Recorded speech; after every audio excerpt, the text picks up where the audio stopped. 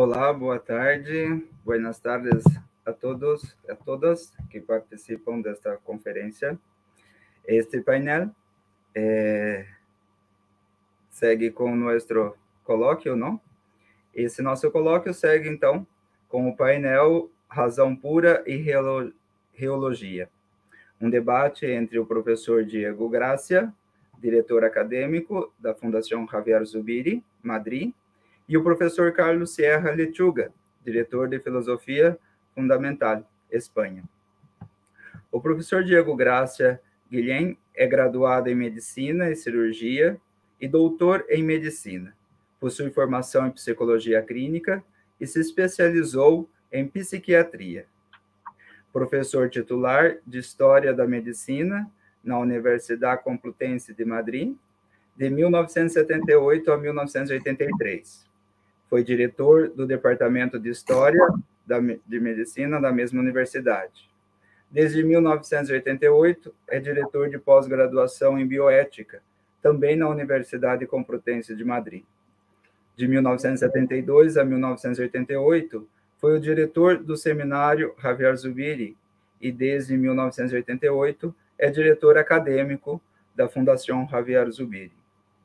É professor honorário da Faculdade de Medicina da Universidade de Chile, além de ser ou ter sido membro de diversos organismos de medicina, saúde e comitês de bioética. É doutor honoris causa das universidades São Marcos, Lima, Peru, e Nacional de Córdoba, Córdoba, Argentina. Autor de diversos livros e artigos publicados em vários idiomas. Foi colaborador do próprio Javier Zubiri antes do seu falecimento em 1983. O professor Dr. Carlos Sierra Lechuga é formado em filosofia pela Universidade del Castro de Sor Juana, na cidade do México, México. Doutorou-se em filosofia na Pontifícia Universidade Católica de Valparaíso, Valparaíso, Chile. Trabalhou por quatro anos como pesquisador da Fundação Javier Zubiri, quando pôde lecionar e realizar cursos em diversos países da Europa. Atualmente, trabalha como acadêmico da Stockholm University, Estocolmo, Suécia, e outras instituições no projeto científico Realidade e Processo. É fundador-diretor de Filosofia Fundamental, Espanha. Os painelistas exporão seus temas em espanhol, mas poderemos acompanhar mediante apresentação simultânea a tradução. As perguntas podem ser feitas diretamente pelo chat do YouTube. Professor Diego, é você. Muitíssimas gracias por la participación y la presencia. Obrigado, muchísimas gracias eh, al doctor Marcos Vieira por esta cariñosa presentación, a Mateus por la acogida y a todos ustedes por eh, estar participando en este coloquio sobre eh, la filosofía y la teología de Javier Zubiri. voy a exponer en en unos pocos minutos el sentido de, esta, de este título que tiene mi ponencia, Razón Impura, que puede resultar un poco extraño. En toda persona que ha estudiado filosofía conoce bien el título de la obra quizá más conocida de Kant, Crítica de la Razón Pura. Por tanto, la expresión más usual no es la de razón impura, sino la, de razón pura, que ha sido la categoría más utilizada a lo largo de la historia de la filosofía. Al comienzo de la crítica de la razón pura de Kant, en el epígrafe que se titula De la distinción entre el conocimiento puro y el empírico, Kant dice que hay un conocimiento que depende de los sentidos, el conocimiento empírico, pero que hay otro que no depende de los sentidos. Y a ese conocimiento lo llama conocimiento puro. Dice reciben el nombre de puros aquellos a los que no se ha añadido nada empírico, aquellos conocimientos, aquellas ideas a las que no se añade nada empírico, por tanto, nada que proceda de los sentidos. Dicho de otra manera, en la mente humana, la mente humana tiene la capacidad de generar ideas completamente al margen de lo que dicen los sentidos o del, aspecto puramente empírico de nuestro conocimiento. Bueno, esto lo dice Kant y no es nuevo, porque está en toda la tradición metafísica occidental. Si vamos a Aristóteles, por tanto, mm, em, volvemos hacia atrás hasta el siglo IV antes de Cristo, pues veremos que en Aristóteles el término griego nous, que se tradujo al latín por ratio y al español por razón y al brasileiro rasao, significa lo mismo que la razón pura en, Kant. ¿no? La, materia, la materia sirve para el conocimiento sensible, pero hay una capacidad mental que es autónoma respecto al conocimiento sensible. Y eso es lo que llama Aristóteles nous, que es un término que se tradujo al latín por ratio unas veces y por intellectus otras, ¿no? La capacidad de leer dentro, intus legere, leer dentro, hay como una capacidad interna en la mente humana capaz, que es capaz de ir más allá de lo que ven los sentidos y que por tanto nos puede dar ideas puras, entendiendo por puro aquello que no depende de los sentidos ni del conocimiento empírico. Es más, Aristóteles, y esto es anterior a Aristóteles, pero en fin, él en su tratado Perisiges va a decir que en el ser humano hay dos elementos que dan que constituyen la base o el fundamento de esas dos funciones mentales que tiene el ser humano, la, la empírica y la pura o intelectual pura o noética pura, ¿no?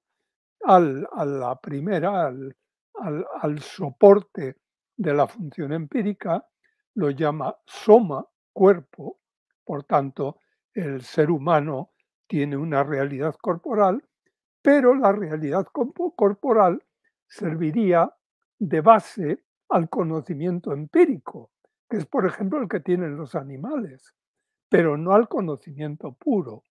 Y por tanto tiene que haber una realidad en el interior de ese cuerpo especial, que es lo que los griegos llamaban psique, se tradujo al latín por ánima, porque era el principio animador o motor del cuerpo.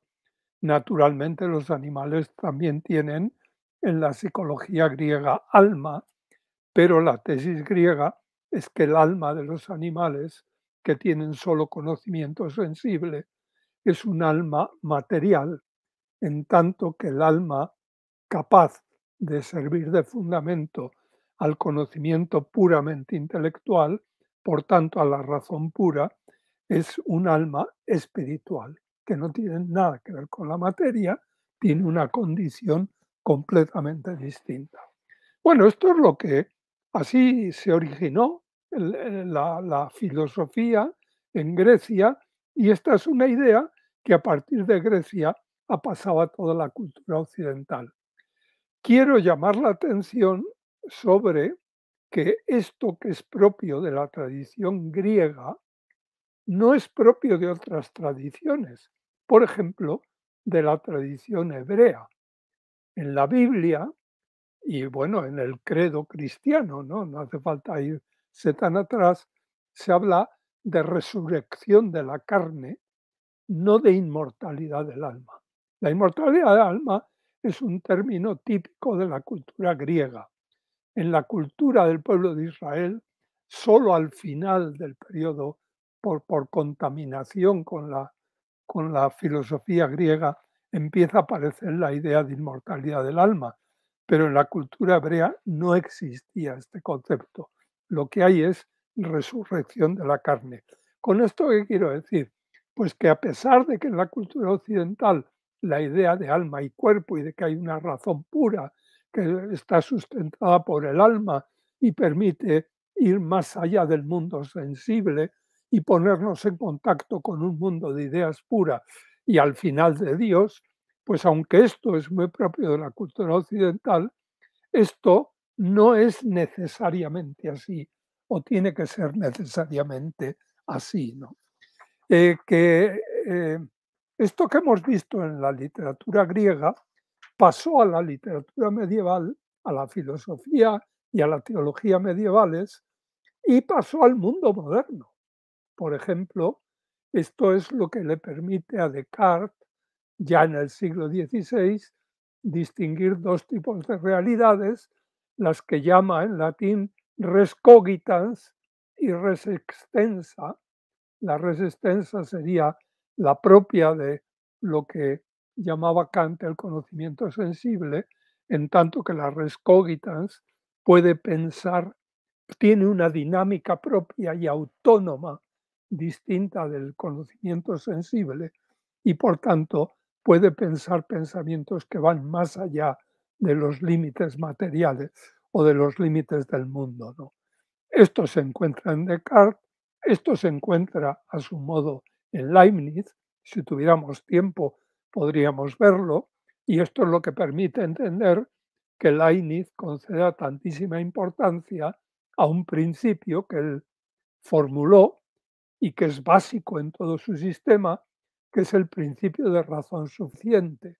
Es decir, la razón tiene una lógica propia, una autonomía propia, es autónoma respecto de la materia y, en esa lógica existe un principio básico, que es el principio de razón suficiente. Bueno, esto que pasa en lo que en los tratados de historia de la filosofía se llama el racionalismo moderno, Descartes, eh, Leibniz, pasa al idealismo alemán, por tanto, a la gran filosofía que se hace a finales del siglo XVIII y comienzos y la primera mitad del siglo XIX en Alemania. Y, por ejemplo, en la crítica de la razón pura, Kant va a distinguir clarísimamente lo que llama Verstand de lo que llama Vernunft. Verstand suele traducirse al español por entendimiento y al portugués también entendimiento, en tanto que la Vernunft es rasao, es razón. Y la razón tiene aquí el sentido que antes veíamos en Kant, es el sentido de razón pura y por tanto una facultad peculiar que tiene el ser humano que le distingue de todos los animales y que es capaz de pensar de un modo puro, es decir, sin tener en cuenta las estructuras corpóreas o materiales. ¿no? Y bueno, esto da lugar a unas verdades que en todo el racionalismo se llamaron verdades de razón, a diferencia de las verdades de hecho. Además de los hechos que, que, que nos entran por los sentidos, hay unas verdades puras que son las verdades de razón. Bueno, como verán, esto es en buena medida un pequeño resumen de lo que ha sido la historia de la metafísica y la historia de la filosofía desde los griegos, desde el siglo V antes de Cristo, desde la época de Parménides o de Platón y Aristóteles, hasta, como mínimo, la muerte de Hegel, es decir, 1831.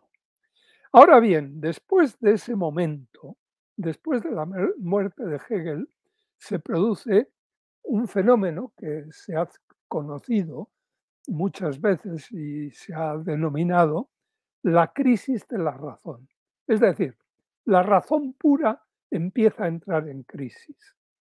Y esa entrada en crisis pues, se va a poder ver en muchas manifestaciones, por ejemplo, el positivismo francés, el movimiento filosófico positivista, en, en la lógica, la lógica matemática, el intento en las últimas décadas del siglo XIX de hacer una lógica pura, perfectamente distinta de pues, la lógica que tiene que depender de cuestiones contingentes. ¿no? Y esto también pasó al movimiento eh, de filosofía que a comienzos del siglo XX inicia quizá la tradición que ha tenido más éxito a lo largo de ese siglo, que ha sido la fenomenología. Lo que Husserl creía también es una razón pura y por tanto poder hacer lo que llama él una fenomenología pura. Pero con Husserl se introduce un, elemento que ha sido fundamental en todo el siglo XX. Y ese elemento fue lo que el, el, lema que él tenía, zu den Sachen selbst, a las cosas mismas. Es decir, partamos de la experiencia y hagamos epogé, pongamos entre paréntesis todas las teorías. Y entonces, una de las teorías que inmediatamente hubo que poner entre paréntesis es esta a la que me he venido refiriendo. Es decir, la idea de que en el ser humano hay dos entes, uno espiritual y otro material, que se articulan entre sí, etc. Eso era una teoría y es una teoría que viene de Grecia. Por ejemplo, no viene de Israel, por poner un ejemplo, ¿no? Bueno, pues entonces, si ponemos entre paréntesis esa teoría y partimos de la experiencia, ¿qué, qué aparece? Y claro, lo que aparece es el ser humano, pero el ser humano no tiene, el ser humano conoce, pero conoce siempre corpóreamente. ¿Cómo es posible distinguir de un modo tajante una razón pura dentro de la razón empírica propia del ser humano? Lo que nos encontramos es con una razón que es corpórea desde, desde sí misma y por tanto de una... Y, y entonces empiezan a surgir en la filosofía del siglo XX unas correcciones a la idea del nous griego, de la ratio latina, de la Vernunft alemana, porque hay que, de algún modo, hacer aterrizar la razón, hacer que la razón sea, como dice Zubiri, inteligencia sentiente. La inteligencia no es pura, sino que es sentiente. Pero esto que dice Zubiri lo dicen a su modo otros muchos filósofos en el siglo XX. Por ejemplo, Ortega y Gasset hablaba de razón vital. Ya no es la razón pura, sino que es una razón vital. Claro, luego esto hay que explicarlo, no podemos hacerlo, pero da lo mismo Piensen ustedes en un filósofo, un existencialista francés, católico, llamado Gabriel Marcel, que hablaba de espíritu encarnado. Es lo mismo. Es el intento de unir eso que durante tantísimos siglos ha ido separado. Y esto se encuentra también a su modo de ver, a su modo en Heidegger, la idea del Dasein es sein, pero da aquí. Y aparece en Ricoeur con la razón hermenéutica e incluso en teólogos tan conocidos como Karl Rahner, la idea de Geist in Welt, que decía Rahner, espíritu en el mundo. Bueno, pues ese es el intento siempre de unir estos dos elementos que durante la tradición habían ido pues eh, cada uno por su lado. Bueno, pues en Zubiri, y esta es la segunda parte, en Zubiri esto tiene un nombre y ese nombre es inteligencia sentiente, donde inteligencia y sentiente no son dos cosas unidas por una, un más, sino que es una misma cosa. Por tanto, es una estructura única es inteligencia sentiente. En el ser humano no hay inteligencia que no sea sentiente y no hay sentir que no sea intelectivo. Y entonces toda la filosofía de Zubiri, claro, esto es lo que yo llamo, fin por ponerle un nombre, de algún modo, pues enfrentado con la tradición, razón impura, ¿no? Frente a la razón pura clásica, la inteligencia sentiente de Zubiri, que es un tipo de razón impura. Y esa inteligencia sentiente es la que, la que utilizamos en la experiencia básica del ser humano como llama Zubiri, esa experiencia básica. Si ponemos todas las teorías entre paréntesis, si hacemos epogé de todo lo que sabemos, cuál es la experiencia básica, pues es lo que llama Zubiri la aprehensión de realidad. Nos encontramos con las cosas y lo que tenemos es que intentar, el filósofo tiene que intentar describir esa experiencia básica que tiene el ser humano cuando se pone en contacto con las cosas y conoce las cosas. Y eso, pues es el análisis, este es un análisis muy fino que hace Zubiri de qué es exactamente lo que se nos actualiza de las cosas en eso que llama aprehensión primordial de realidad. Y lo que se actualiza como mínimo es realidad, que son reales, que no son que son algo distinto de mí y que de algún modo se me impone como teniendo, teniendo, dice Zubiri, una condición propia, distinta de mí, de tal manera que tienen poder sobre mí. Y eso es lo que va a llamar el poder de lo real, y esa condición de las cosas es lo que llama el ser de suyo son de suyo, tienen una cierta entidad en sí que no la construyo yo, ni la pongo yo, sino que en el acto de la aprehensión primordial, lo único que hago es actualizar eso.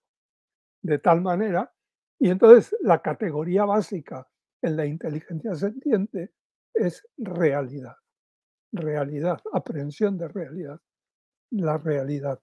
Bien entendido que esta realidad es muy distinta de la realidad y del realismo antiguo y medieval y moderno.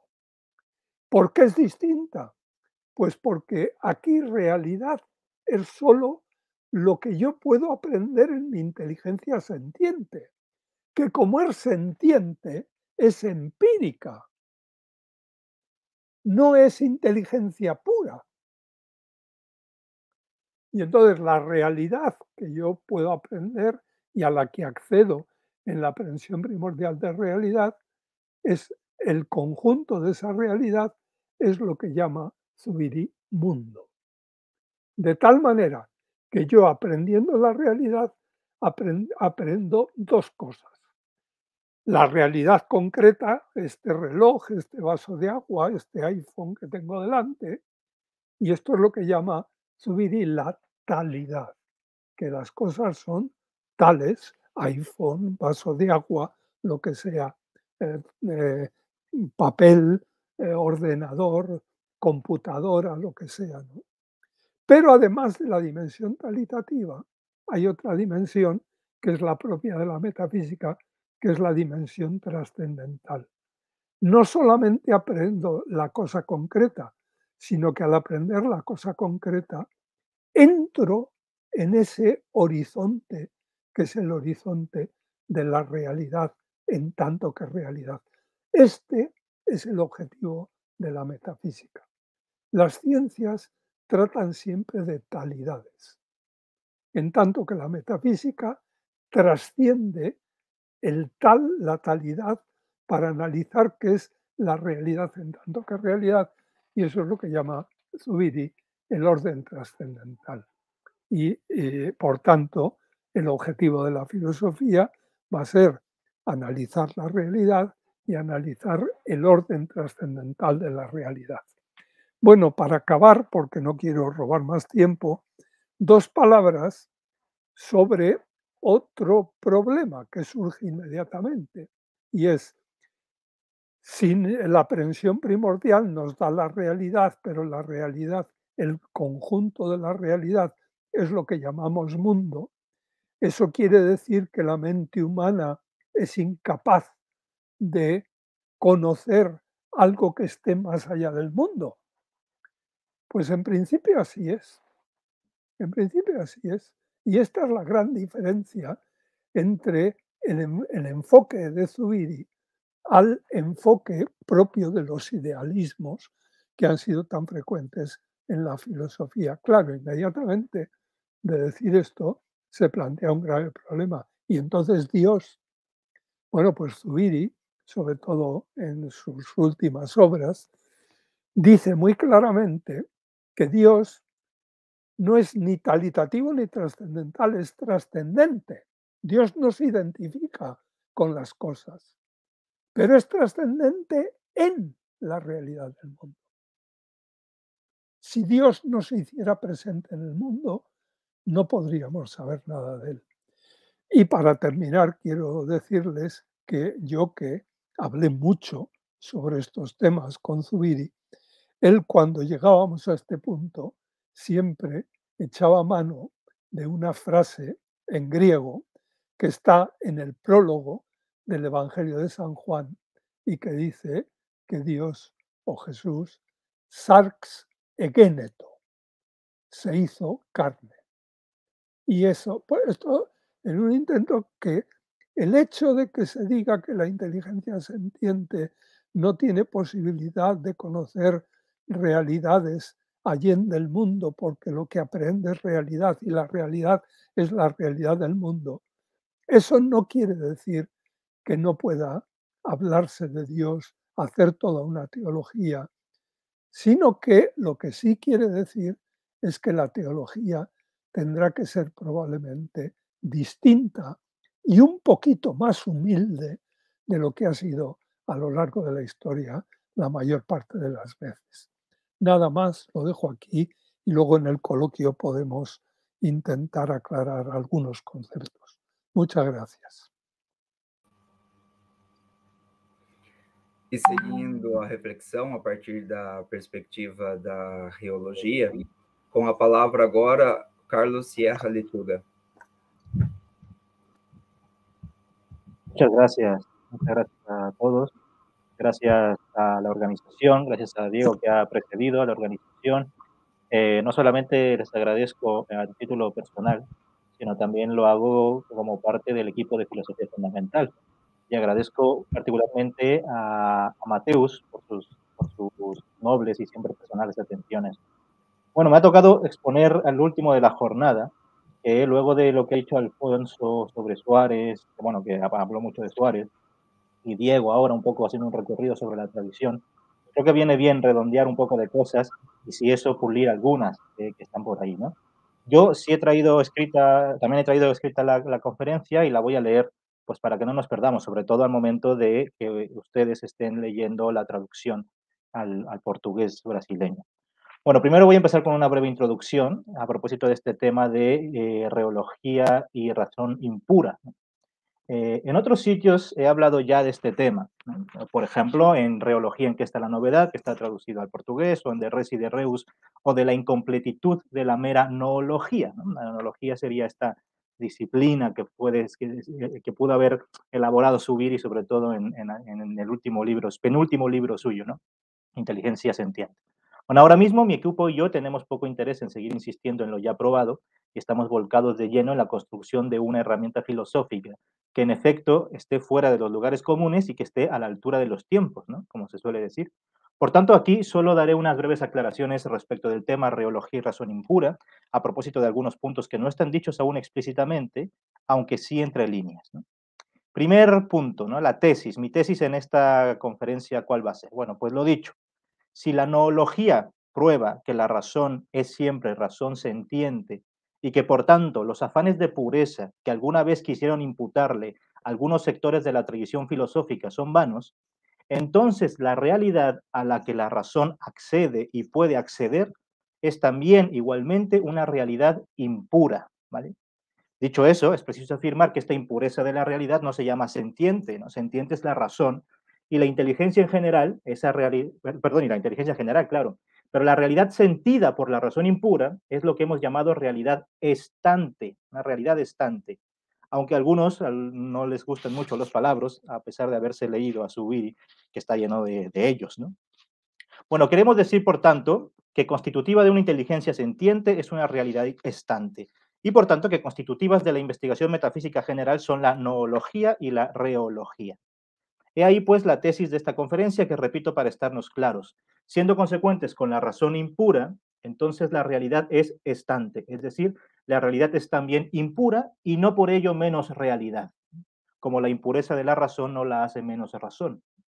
Expliquemos esto por partes. Es el punto 2. ¿Qué quiere decir pura? Diego ha hablado un poco más de, un poco de esto, vamos a darle un poco más de vueltas. La tradición ha entendido la pureza al respecto que nos compete como espontaneidad, o sea, como reposando sobre sí misma y activándose desde sí misma. Es decir, la razón, si es pura, no, reposa en realidad ni materia alguna, no reposa en este caso en la sensibilidad. Y su desenvolvimiento es un desenvolvimiento a priori que se echa a andar desde y por sí misma, sin injerencia de agentes externos, casi patógenos. Puro, pues, significa espontáneo, a priori, sin contingencias fácticas, necesario, autosubsistente y sin nada de sensibilidad ni mezcla de empírico. Vale citar a Kant, como lo ha hecho Diego en otro apartado a este respecto también. ¿no? Se llama puro a todo conocimiento que no está mezclado con nada externo. Pero en particular se llama absolutamente puro a un conocimiento en el que no hay mezcla ninguna con la experiencia ni sensación, el cual por tanto es posible enteramente a priori. Ahora bien, la razón es la facultad que suministra los principios del conocimiento a priori. Por eso, razón pura es aquello que contiene los principios para conocer algo absolutamente a priori nuevamente. Y un órgano donde la razón pura sería el conjunto de aquellos principios según los cuales se pueden adquirir y, y pueden ser efectivamente establecidos todos los conocimientos a priori. La aplicación detallada de un tal órgano proporcionaría un sistema de la razón pura. Hasta ahí Kant. Bueno, este sistema no alcanza a ser desarrollado por Kant, pero los idealistas absolutos consideran que ellos sí lo logran. ¿De dónde viene esta idea de razón pura? Es el punto número tres.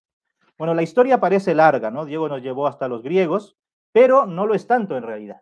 En realidad, donde queda hipostasiada una razón pura es en el idealismo absoluto de los alemanes, proveniente del idealismo trascendental de Kant, proveniente de su herencia racionalista e incluso empirista, típica de la modernidad, proveniente este racionalismo de la Schulmetaphysik, y ahí se detiene, grosso modo la cadena, en la Schulmetaphysik. La Schulmetaphysik fue la escolástica luterana, que tiene sus inicios en el siglo XVII, y no se identifica, perdón, ¿dónde estoy aquí? Aquí.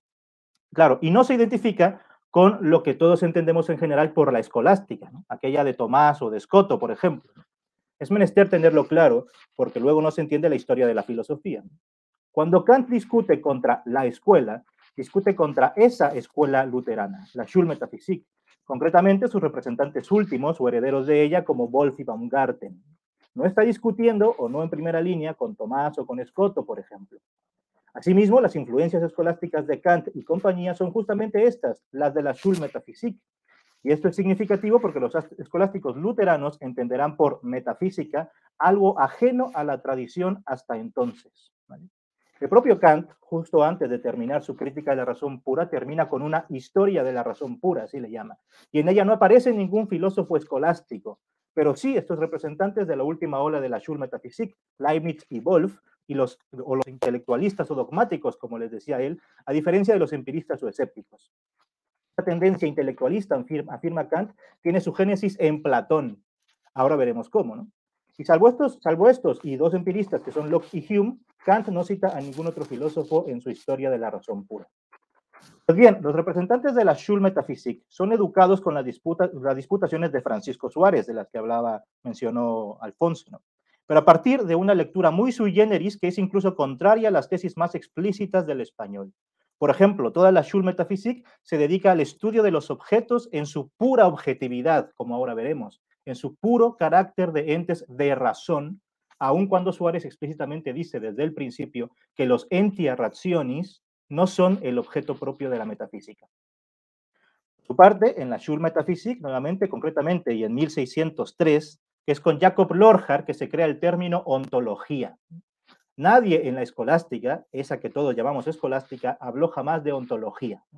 Y la ontología se define a partir de Lorhard y luego con Göckel y otros filósofos de la Schulmetaphysique como una episteme tu noetu en noetu, es decir, como una ciencia de lo inteligible en tanto que inteligible. Nada que ver con la idea vulgar del ser en tanto que ser y afines. Es la ciencia de lo inteligible en tanto que inteligible, es decir, no en tanto que real o en tanto que material o en tanto que existente. Suárez dijo, por su parte, que la metafísica es el estudio de lens qua realis, en tanto que real, no qua noetu.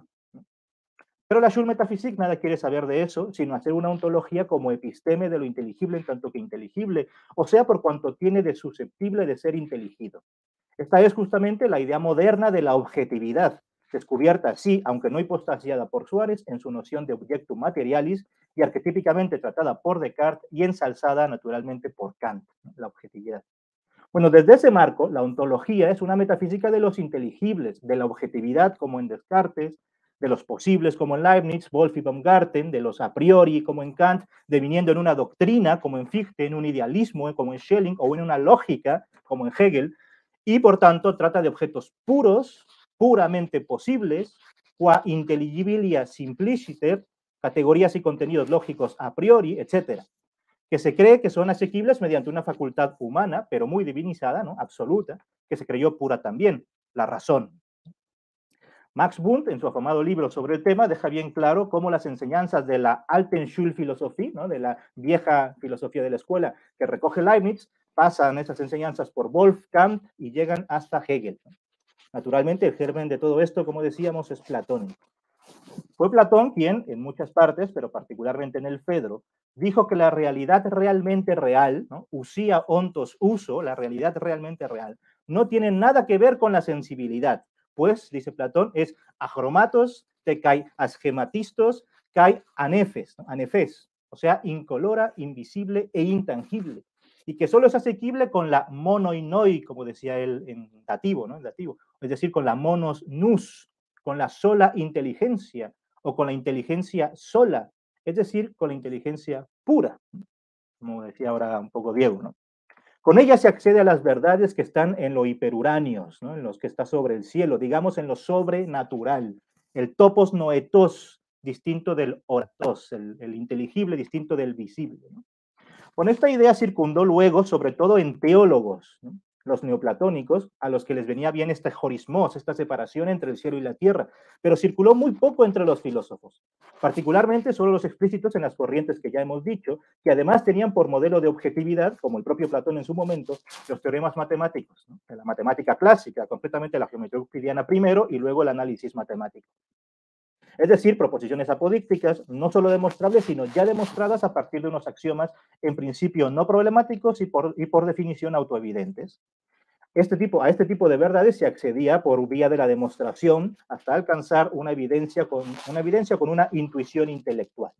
Una intuición nuevamente pura, reine Anschauung, como decía Kant, como la del espacio, que es la geometría, y el tiempo, que sería el álgebra o el análisis. Y aunque hoy ni siquiera la matemática funciona de esta manera, pues sabemos que todo sistema contiene proposiciones verdaderas que no pueden ser deducidas de los axiomas, lo que se llama indecibilidad, todavía la ontología contemporánea, desde Quine hasta John Heil o Kit Fine, y pasando por los mundos posibles y la lógica modal de David Lewis, hacen gala de esta acepción purista y trasnochada del filosofar. En su virtud, otros filósofos contemporáneos, autodenominados naturalistas, como James Ladyman o Amanda Bryant, han identificado críticamente a estas a priori philosophies con el atinado nombre de armchair philosophies, filosofías de sillón. Pasemos al punto 4, ¿no? Tres corolarios a propósito de esta pureza de la razón. Primero, en las ciencias biomédicas, en general, se sabe que hay gradientes entre la pureza y la impureza. En el lado de lo puro se encuentra la asepsia, en el otro lado la infección. En el culmen de la asepsia, o sea, de la pureza, está la esterilidad, mientras que en el de la impureza está la fertilidad. Una muestra abierta, de, una muestra abierta a agentes externos es en un ambiente, eh, perdón, una muestra abierta a agentes externos es un ambiente fértil. Y con esto en mente, en efecto, es fácil reconocer por qué las ideas de una razón pura en la filosofía han resultado ser, en última instancia, infértiles, estériles, mientras que quienes han preferido mojarse, como se dice coloquialmente, han sido, han sido incisivamente fértiles, así las filosofías infectadas de sensibilidad, o diríamos nosotros, las metafísicas físicamente responsables. Segundo, segundo corolario. Por otra parte, hay que decir que esta idea de pureza de la razón tiene, como digo, relativamente pocos avatares en la tradición filosófica, por lo que es menester recordar que antes de la razón pura se levantaba en la metafísica de siempre, y esta sí en la escolástica que todos tenemos en mente, una razón diferente de la razón pura, a saber cuál, la razón natural, como decían ellos. Es iterativo en los textos escolásticos, no de la Schulmetaphysik, la exigencia a mantenerse en los límites de la luz natural de la razón. Filosofar, como decía Suárez, quantum ex creaturis manifestar hipotes lumine natural intellectus humani, es decir, por cuanto puede manifestarse la luz natural del intelecto humano desde las criaturas, dice. En efecto, la razón natural de la tradición metafísica nunca jugó a ser die Darstellung Gottes, la exposición de Dios, como sí dijo Hegel, vor der Erschaffung, antes de la creación, esto lo dijo en la lógica. Es decir, que mientras unos saben eh, que piensan como criatura, otros quieren pensar como el creador. Nada de eso. La metafísica propiamente tal, desde el propio Aristóteles y sus intérpretes, como Alejandro de Afrodisia y luego otros, y luego, por supuesto, los escolásticos como Tomás Escoto o el mismo Suárez, hablaron y defendieron siempre una razón natural, nunca una razón pura. De hecho, las verdades puras las reservaban a las revelaciones teológicas y ni siquiera a todas las teológicas, sino solo a aquellas de la teología supernaturalis, distinta de la teología naturalis. Cuanto menos las asignaron nunca las otras ciencias, entre ellos la filosofía, distinta de la teología en general, sobre todo a partir de la autonomía lograda de la metafísica ganada con Escoto. Y así como la filosofía, a fortiori la propia matemática, por ejemplo, cuyo objeto se decía que era la quantitas de la materia inteligible, de la materia, ¿no? no de las formas puras ante rem, como hoy dijera Shapiro, un filósofo de la, de la matemática. ¿no? Sobre esto volveremos. Tercera cosa que hay que decir, tercer corolario. Contra la razón pura se levantaron muchas filosofías en el siglo XX. Una de ellas la que erigió Bertrand Russell, ¿no? el positivismo lógico. Este ha tenido sus vicisitudes como toda escuela filosófica, pasando por la así llamada filosofía analítica, hasta convertirse en lo que hoy se llama, desde Quine, el naturalismo. Russell es, en cierta forma, un padre del naturalismo contemporáneo en filosofía, que se oponía justamente al modo de filosofar típico de la primera mitad del siglo XIX y algo de la segunda, ¿no? la forma especulativa del idealismo, forma especulativa en virtud de apoyarse en la idea de pureza. Hoy el naturalismo sostiene que no hay verdades supernaturales, palabra que ya nos acaba de aparecer en latín, y que han de reducirse los agentes filosóficos a agentes controlables por las ciencias o por lo menos consistentes con ellas. Pues bien, ese naturalismo antipurista que se exige a la filosofía contemporánea es el mismo naturalismo, o por lo menos está incoado en él, del que ya la tradición hablaba, como acabamos de ver, cuando hablaba de la, de la razón natural, ¿no? muy otra de una razón sobrenatural propia de verdades religiosas sin cabida en la propia filosofía. Pues bien, la filosofía, como se ve, ha defendido con constancia la impureza de la razón, si cabe hablar así, aunque impropiamente, pues no es que la razón tuviera que ser pura y luego por defecto es impura, ¿no? No, es que la razón humana es la que es. Solo aparece como pura, perdón, como impura cuando se tienen afanes metafísico-teológicos vetustos, pero es siempre y solo una razón natural. Y en el caso del hombre, su naturaleza está constituida de sensibilidad. En efecto, la demanda naturalista de la razón no es en Subiri una excepción extraordinaria. Cierto es que Subiri afirma que todos menos él resbalaron al hallar ciertas verdades de las que él se reserva el descubrimiento. Pero, obviando las licencias literarias, Subiri es un crítico de la infertilidad de la razón pura, tanto como la propia filosofía lo ha venido siendo siempre. Cada filósofo a su modo, naturalmente, por lo menos desde que Aristóteles se levantó explícitamente contra Platón. Prueba de esto, decía el estagirita, es nuestro amor por los sentidos. Semillon de utun aisteseon agapesis, ¿no? Un amor por la aistesis, por la sensibilidad. Sí, Aristóteles. Bueno, punto 5. La realidad estante que decíamos al principio. Decíamos antes que ni siquiera la matemática funciona ya a priori, ¿no? si por esto se entiende puro, en efecto, ¿qué es la triangularidad a priori, por ejemplo? La triangularidad es una realidad rea rerum, rea de las cosas. Y en este caso, las cosas a las que está apresada es a los triángulos. ¿Qué se quiere decir con triangularidad? ¿La forma geométrico-algebraica para la cual la suma de ángulos internos son dos rectos? Pues no, porque esa triangularidad solo acontece en triángulos efectivamente euclidianos, no en otros, es decir, en virtud de una cierta métrica. Esa triangularidad no se cumple en otras métricas sin, sin que por ello sus triángulos sean menos triángulos. Lo mismo la circularidad, conjunto de puntos que equidistan de un centro, nuevamente no. La realidad del círculo depende de los círculos efectivos, por tanto circunscritos y determinados por una métrica en concreto. Dentro de la métrica del taxista, como se le llama, o distancia L sub 1, determinada por valores absolutos, se dibujaría un conjunto de puntos equidistantes de un centro y la figura obtenida lucería más bien como un rombo. Es decir, la realidad llamada triangularidad o circularidad, entre otras, a las que accede la razón matemática, está rea de las res, llamadas triángulos o círculos. Es decir, la realidad es de las cosas, está en ellas y no fuera, más allá, joristá, separadamente. Y si ni en matemática y estos a priori, pues de toda, pues toda realitas depende de las res, pues a fortiori en filosofía. En efecto, como decía nuestra tesis en el primer punto, si nuestra razón es impura, entonces la realidad a la que podemos acceder con ella es igualmente impura. Ejemplos de realidades puras, es decir, que no se manchan cuando la razón pura las intelige, son las así llamadas ideas platónicas, las mónadas, los posibles, los noumena o cosas en sí, las categorías lógicas que se autodesenvuelven a priori y que el idealista además cree que son isomorfas a las categorías efectivamente reales. ¿eh? Pues recordemos que Hegel decía que die Vernunft ist die Gewissheit des Bewusstseins a la Realität zu sein. ¿no? La razón es la certeza de la, conciencia de ser toda la realidad. Otros ejemplos pues, son los mundos posibles o la pluralidad de mundos de David Lewis, etcétera, de, realidades, entre comillas, puras. ¿no? Mas si desde el principio partimos de, nuestra, de que nuestra facultad, por hablar impropiamente, no reposa sobre sí misma, no es espontánea, etcétera, entonces es natural aceptar que aquello a lo que accede esta razón impura es tan finito y limitado como ella misma. Y por tanto, también es natural aceptar que aquello que podamos inteligir con ella está estofado de esta razón nuestra, de esta razón humana nuestra, sin que por ello deje de ser realidad. En otras palabras, cuando aceptamos que la razón está ubicada y cuando cada en la realidad, es normal aceptar que la realidad en la que está esta razón sea una realidad igualmente ubicada y cuando cada.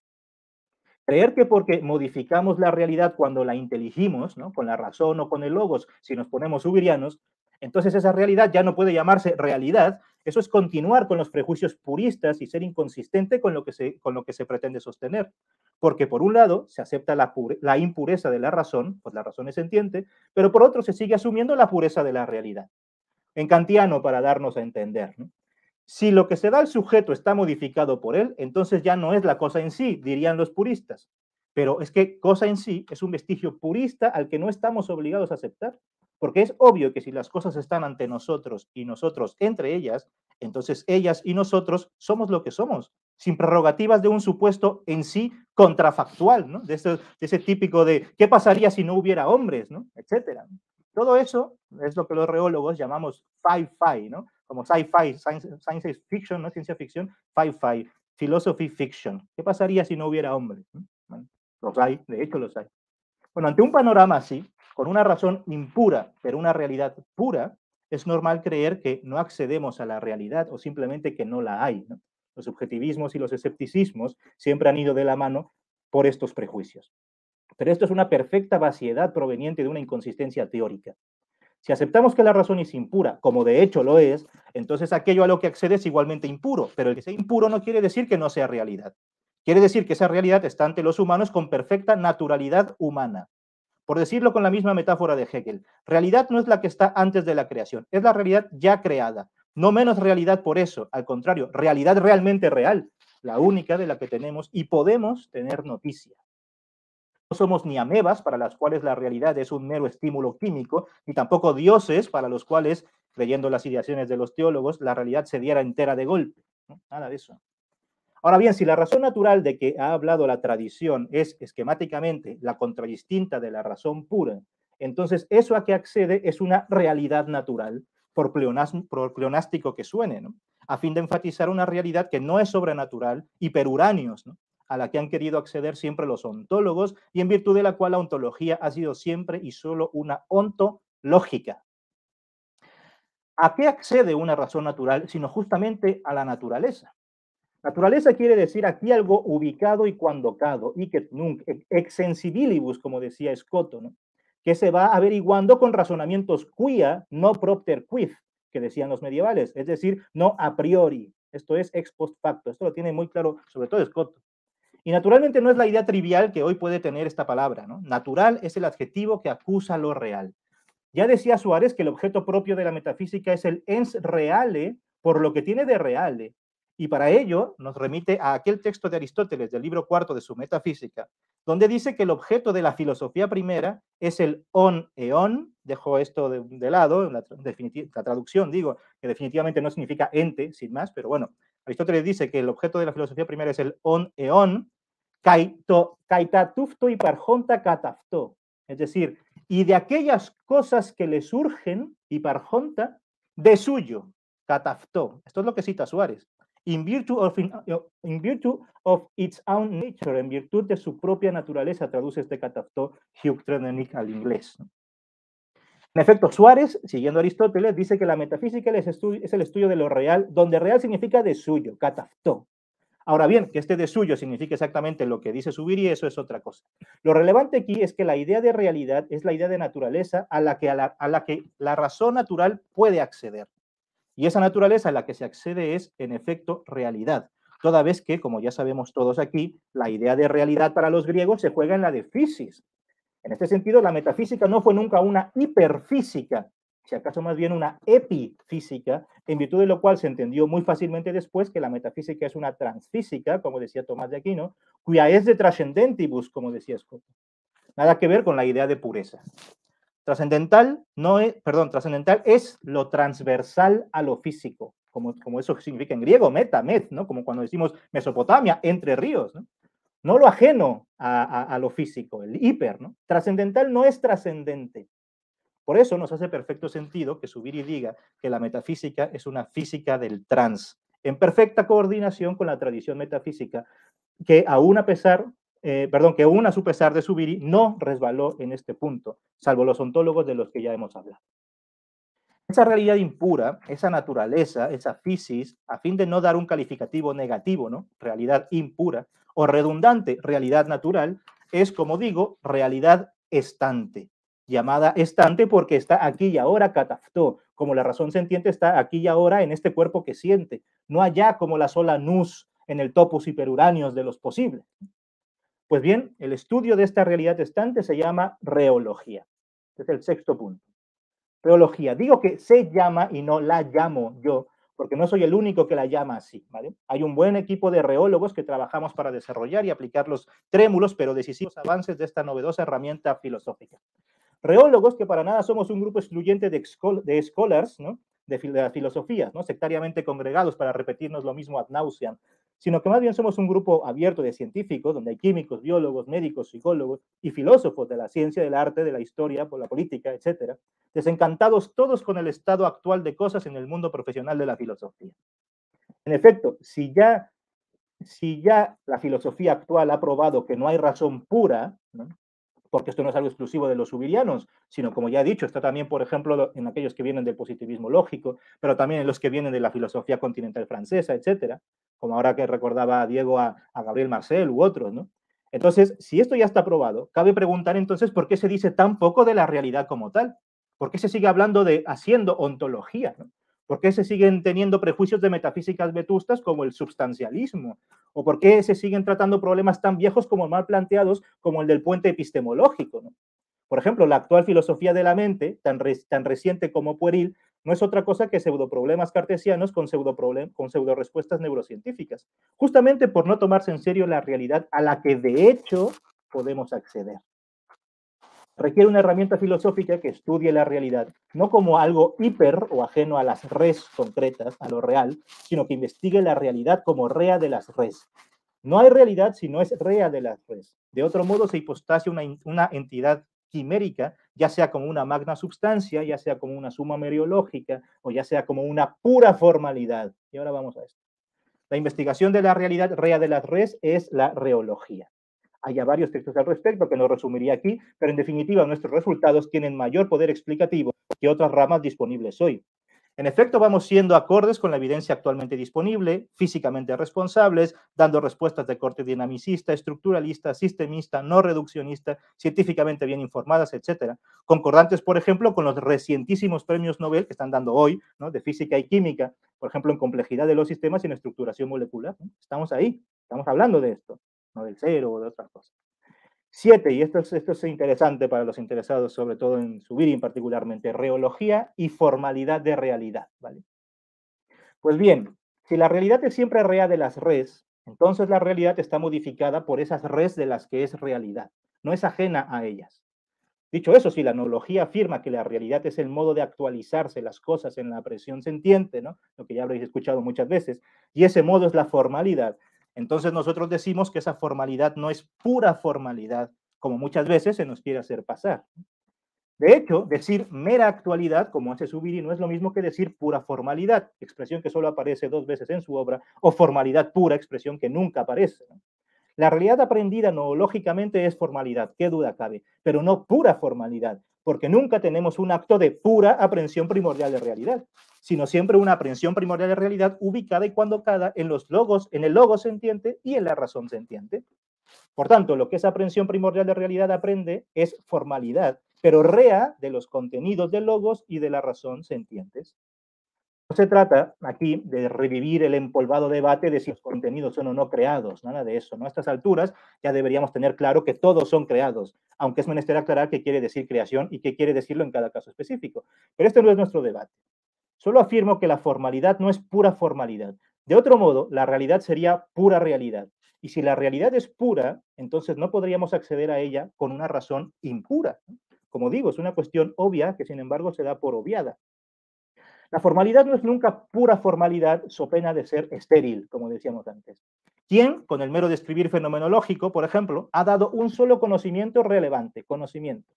La analogía no puede contentarse con ser una fenomenología sofisticada de la pura formalidad, si en verdad cree en lo que dice, que la razón es impura, pues si es impura, la realidad, aún como formalidad, también lo es. Es en virtud de esa formalidad, que no es pura formalidad, que no es pura realidad, que solo luego podemos investigar sus contenidos en tanto que reales, y esa es la labor de la reología.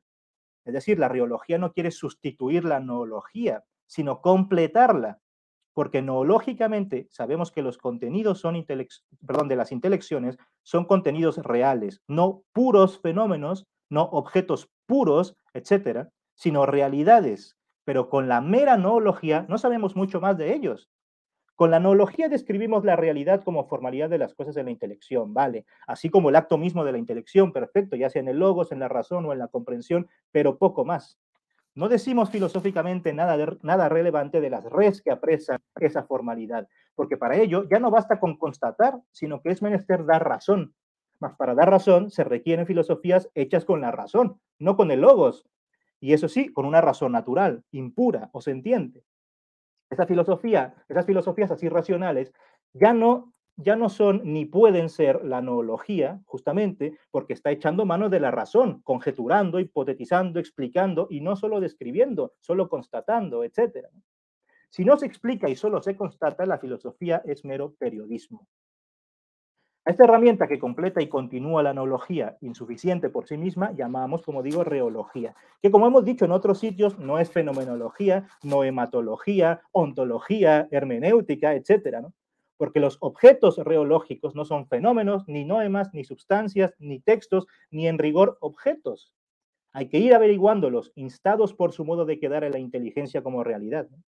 En efecto, en tanto que lógicamente las cosas nos quedan como realidad, instan a investigarse en profundidad, porque no se agotan en su mero quedar el que queden como realidad y que por tanto no se agoten en sí mismos, es lo mismo que decir que no reposan sobre sí mismos, que estas cosas que se dan a la inteligencia no son puras y por tanto su realidad no puede ser jamás pura formalidad, porque si la formalidad fuera pura sería aséptica de las res que formaliza y como tal asepsia sería estéril.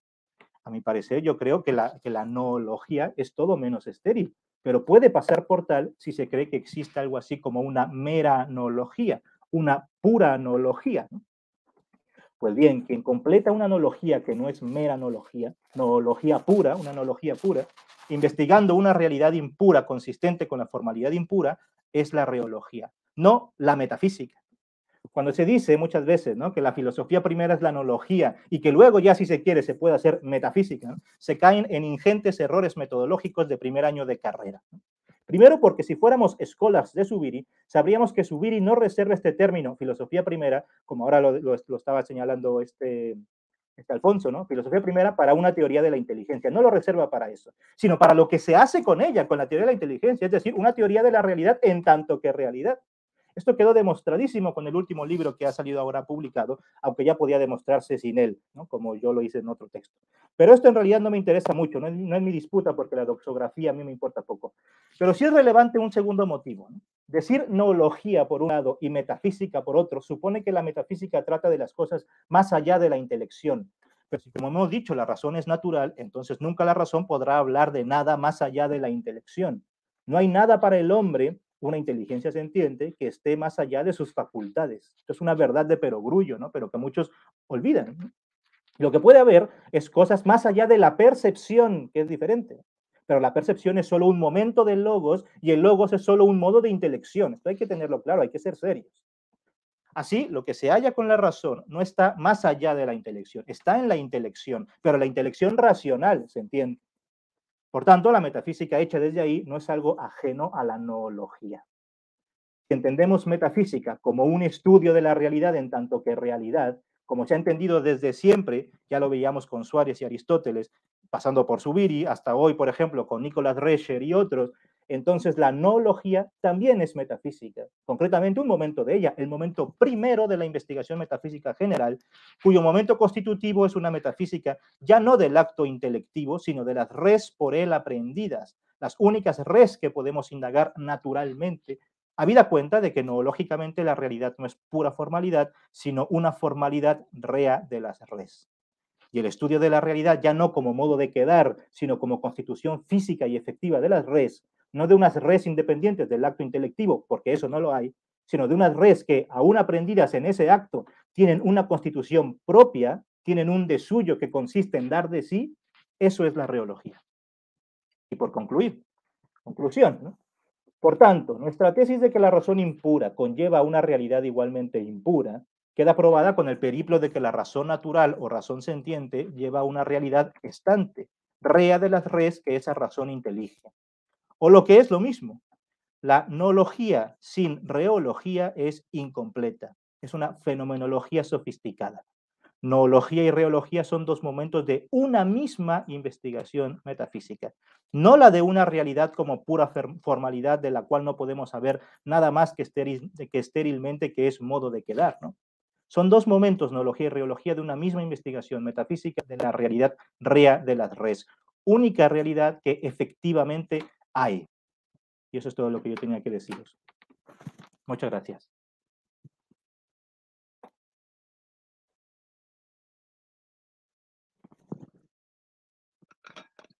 Tu micro, Marcos. Perdón. Muchísimas gracias, Carlos, y el profesor Diego. Y ahora nosotros vamos a pasar las vamos a pasar para las preguntas. Vou fazer elas em português e o Matheus vai é, traduzir para a gente em espanhol.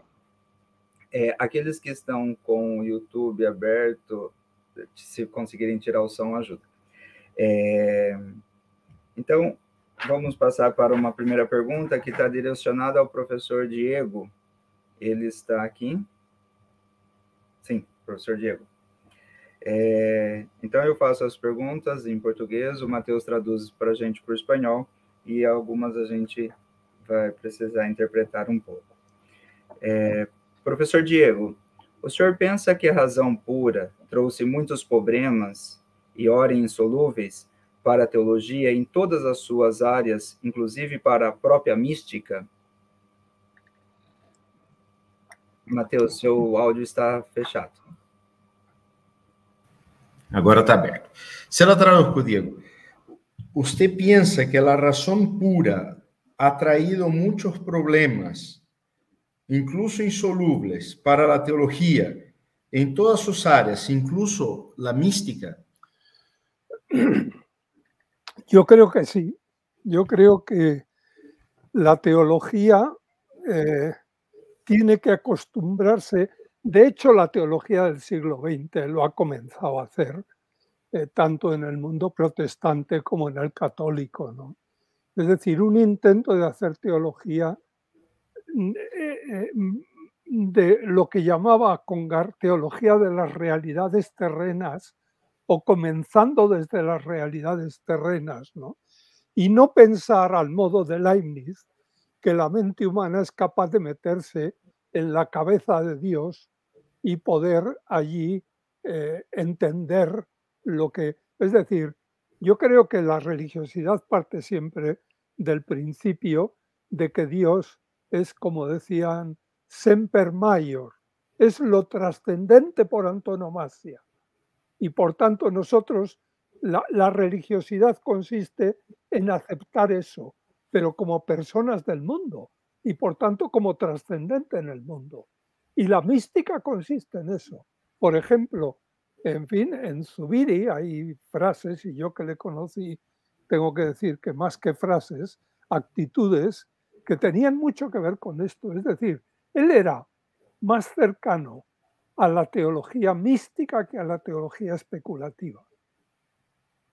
La teología especulativa le parecía excesivamente laimniciana la mayor parte de las veces, ¿no? En tanto que la teología mística, pues, eh, intentaba no pensar, no, no especular, sino partir de un concepto que es revelado, que es el concepto de agape, el concepto de amor, el amor neotestamentario. Y esa es la experiencia religiosa básica. Y no, en fin, todo el tipo de especulaciones a propósito de lo que pueda ser trascendente al mundo, que no lo sabemos ni lo podremos conocer. Excelente. Muy bien. Eh, otra pregunta que nós teríamos aqui, também para o Diego. Em Zubiri vemos a realidade vemos que a realidade dá de si, é dinâmica. Como poderíamos compreender esta questão do dar de si quando queremos aprofundar na questão de Deus? Sendo, como coloca Zubiri, que Deus é a experiência do homem. Deus está dando-se ao homem em um dom. Se lo trago. No, hace falta, Mateo. No hace falta, perfecto, perfecto. Buenísimo. Y es una pregunta tremendamente interesante. Uno de los grandes errores en la lectura de Zubiri es fijarse mucho en la expresión de suyo, que él repite con frecuencia, y no darse cuenta de que junto al de suyo hay que poner siempre el dar de sí.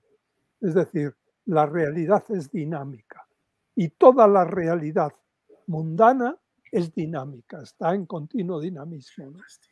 Y en el orden de la teología, Zubiri decía que, es que en Dios sucede exactamente lo mismo. Volvemos a la idea de agape. Es que es un puro dinamismo interno.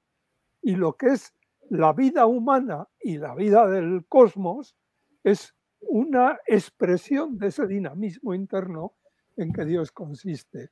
Y por tanto, la idea de dar de sí es absolutamente fundamental, no solo para explicar la evolución y la cosmogénesis, sino incluso en teología.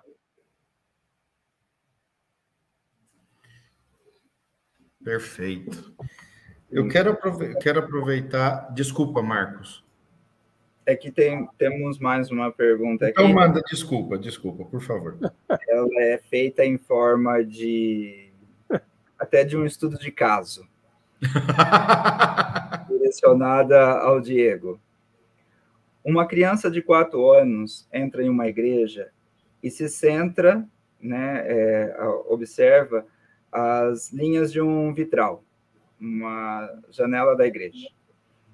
O centrado é apreendido e e por si mesmo. Uma formalidade de realidade apreendida diretamente não através de representações ou similares. Logo, esta criança se converte em pintor. Seu estilo inconscientemente ou sem explicação, segue sendo o mesmo que as linhas do vitral da igreja. Tem esta história algo que ver com a apreensão primordial de realidade? Eh, eh, es, es, muy interesante la cuestión. Vamos a ver, el poner eh, como modelo, como ejemplo, una, un niño o una niña de cuatro años es muy interesante, porque un niño de cuatro años tiene aprehensión de realidad, pero no tiene teorías. Es decir, habría que decir que es más un fenomenólogo que lo son las personas mayores, que tienen que hacer un gran esfuerzo para poner entre paréntesis todas las teorías de todo tipo que tienen. ¿no? Y entonces, el niño de cuatro años, su experiencia es una experiencia claramente de realidad. ¿eh? Y, y, y, de, de, de, de, realidad en su doble dimensión de contenido específico, lo que he llamado talidad, lo que llama subiritalidad, tal realidad es la que aprende y de aprehensión de la realidad en tanto que realidad. ¿no? Y entonces, en ese sentido, y, y, en ese sentido habría que decir que el niño es un fenomenólogo más puro que la persona adulta. Porque la cultura y la educación va superponiendo capas en el ser humano que le impiden esa ingenuidad primera, de tal manera que para poder hacer una experiencia de aprehensión primordial tenemos que hacer un gran esfuerzo, ¿no? Y poner entre paréntesis muchas cosas, cosa que el niño no tiene que hacer probablemente. Muchísimas gracias. Profesor. No sé si esto contesta a la pregunta. Creio que sim.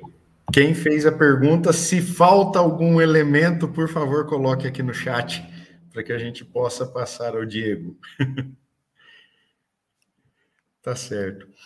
Bom, eu gostaria de fazer um comentário geral. Aqui se trata de um painel, evidentemente, nós perdemos bastante a dinâmica, é, dado os meios de comunicação, num painel em que as pessoas estão se vendo e estão interagindo sem os meios, é, a dinâmica é um pouco mais acelerada. Aqui a dinâmica ela fica mediada. Né? Mas, de alguma forma, a ideia, quando surgiu a, a ideia de que nós pudéssemos conversar sobre essa temática da razão impura e da reologia, é, ainda existe uma certa tendência ou uma certa tentação de nós queremos fugir daquilo que nós somos, né? que é precisamente a tendência, a tentação idealista. É, eu gostei muito da última frase que o Diego é, formulou, né? que a teologia, aí eu falo da, da área própria do conhecimento, que a teologia precisa encontrar caminhos de maior humildade. Né? A teologia, se nós somos bastante fiéis, é um esforço constante do ser humano de poder expressar, mediante o logos teológico, a sua relação com Deus. Mas é um, é um esforço humano, não é divino. A teologia, Deus não faz teologia. Quem faz teologia é o ser humano. Então, a teologia precisa realmente ser mais humilde. E é, eu também gostaria de resgatar algo que o Carlos ele apresentou, que eu penso ser um tema muito importante para desdobramentos futuros das interfaces com Javier Zubiri. Né? O Carlos ele afirma muito a realidade estante isto é, aquela realidade que está. O Afonso, há um pouquinho tempo atrás, falou muito da problemática que nós sempre queremos ir ao ser. e nós nos esquecemos do estar. Né?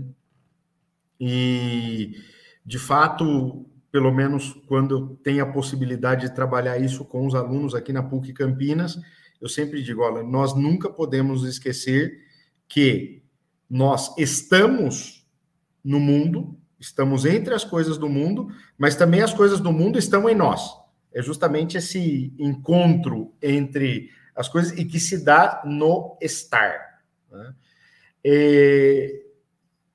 Aí eu faço uma pergunta para os dois, né? um, mais que uma pergunta, um, um, uma, por assim, não um desafio, mas uma, um, uma pergunta para que estimule um pouco a conversa. É, como numa é, também me inspiro numa pergunta que ficou da, da palestra do, da conferência do Afonso. É, como nós, no século 21, né, podemos buscar estar, não querer ser, mas estar.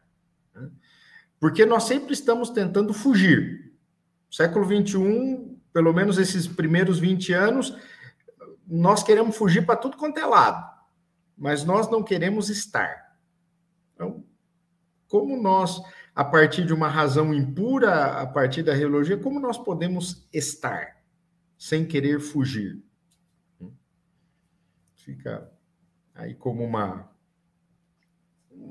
uma discussão para os dois. Yo, yo creo, vamos, eh, claro, es un tema enorme, ¿no?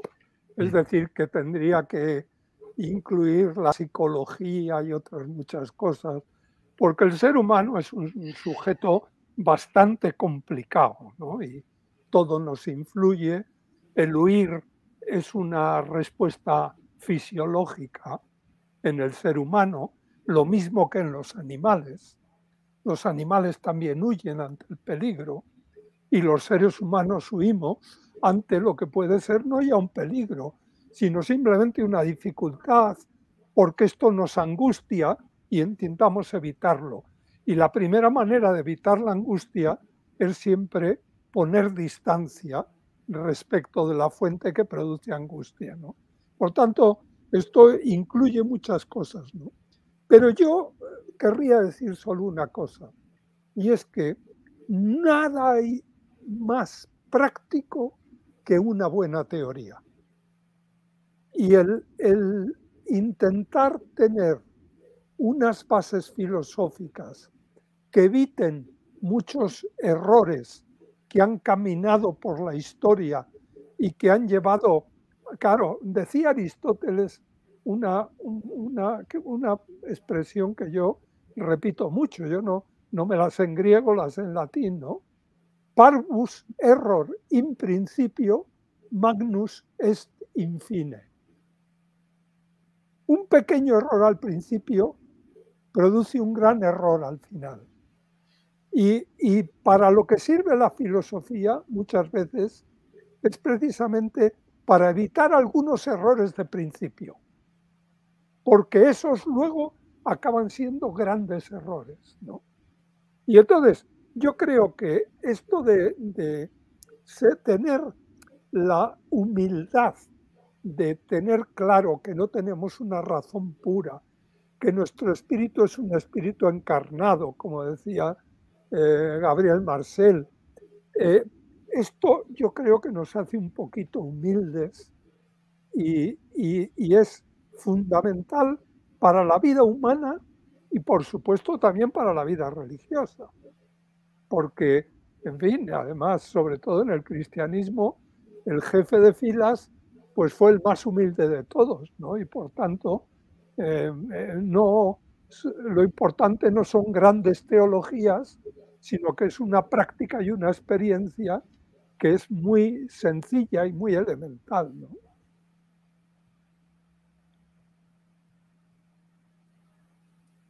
Bueno, si me permitís un poco, em, claro, yo teólogo no soy, ¿no? Y de hecho he estudiado poca teología. Yo lo que estudié en su momento fue investigación bíblica.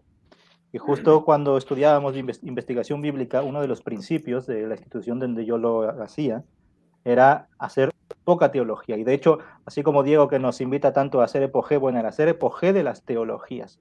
Porque justamente lo que, lo que suelen contra, contravenir esas teologías, o más bien lo que, lo que llega a contravenir las teologías, son los textos. Cuando uno va a los textos, mucho de la teología, por lo menos la estándar o las estándar, que son varias, se, se, van, se van cayendo. Hay que ser eh, humildes, decir, fieles a la tierra, ¿no? Eso es humus, humus fieles a la, a la, tierra, ¿no? Como se dice.